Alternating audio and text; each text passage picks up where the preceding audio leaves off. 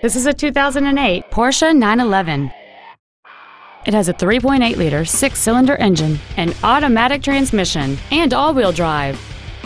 Its top features include a power moonroof, heated front seats, a navigation system, a Bose stereo system, a leather wrapped steering wheel, alloy wheels, a passenger side vanity mirror, a traction control system, air conditioning with automatic climate control, and this vehicle has fewer than 2,000 miles on the odometer.